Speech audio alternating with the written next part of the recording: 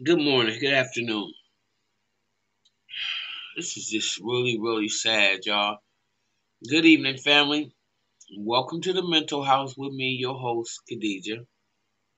As breaking news right now in my city, I seven people shot between the ages of 24 and 48 at a funeral home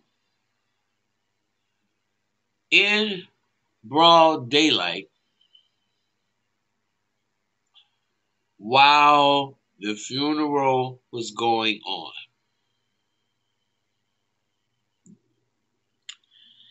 Supposedly, this happened somewhere like on Sherman and Fond du Lac. Um, trying to get the area in my head. Sherman and Fond du Lac. Um, and what the name of the funeral home is over there. Uh, again, this is breaking news. Those of y'all in Milwaukee know somebody that was having a funeral today. Either on Sherman or on Fond du Lac.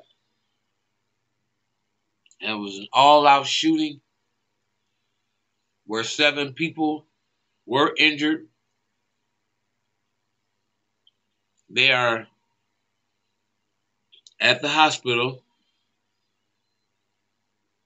They are in stable condition. They are between the ages of 24 48 years old. And no suspect has been apprehended. No suspect has been apprehended.